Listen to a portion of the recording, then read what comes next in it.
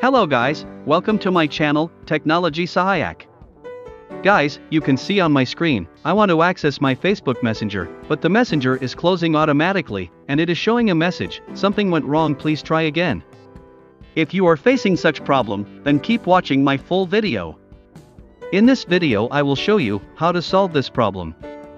First of all, we will go to our phone settings.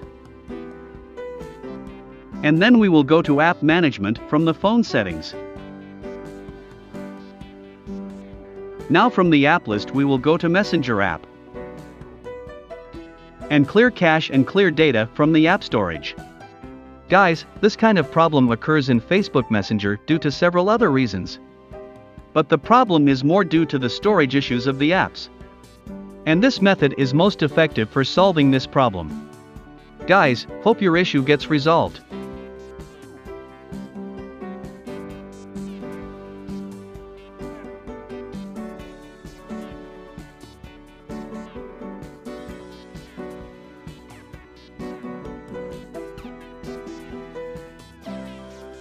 If the problem is not solved, please comment, I will tell you some other methods in the comments.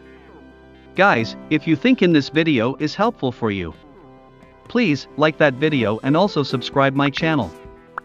Thank you for watching.